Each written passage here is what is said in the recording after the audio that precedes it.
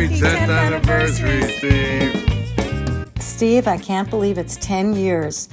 And over that time, you have given Curtis and me so many wonderful opportunities with radio, with our TV show, the amazing opportunity of singing at Radio City Music Hall, and most especially for introducing us to Marleen Schuss and New York Senior America. And now a very special tribute to that very special lady. Hi, Marleen. Greetings and love from upstate New York. I wouldn't have missed this opportunity to pay you honor because no one I know deserves a tribute more than you do. You amaze me.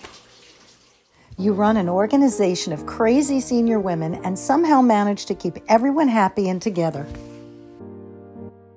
No matter where we go or what we do, you always outshine us all. Look at that beautiful face. You always manage to find charities and people that we can help, and of course, entertain. You add some special pizzazz to everything you do and would never let us be without bling.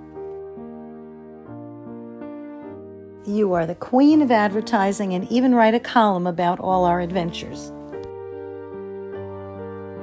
You've reassured me, held my hand, and because of your encouragement, I was set on a journey that truly changed my life. You defy the concept of age, and you have always been there for me.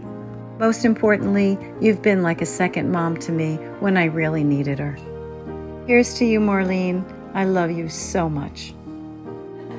Here's to you, Marleen. We love you, miss you. Uh, even Kitty wants to say hello. well, I think she wants a sip. Cheers. From all of us, God bless you. We love you.